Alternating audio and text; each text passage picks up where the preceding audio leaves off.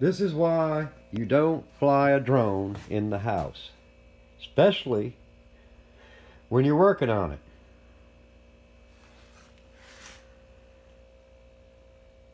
Isn't this nuts? How close did this come to my head? Ugh. That could have been me. This is a dangerous drone. All of them are dangerous if you try anything like this. Wow. Ridiculous. Even I know better than this shit. It just took off. And all I can do is duck. Yeah, it's got a mind of its own.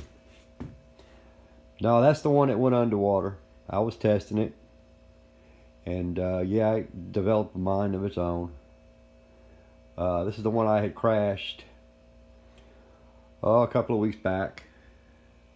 But I guess I'm going to have to put a board in it. But anyway, that's crazy. That could have been me. Oh,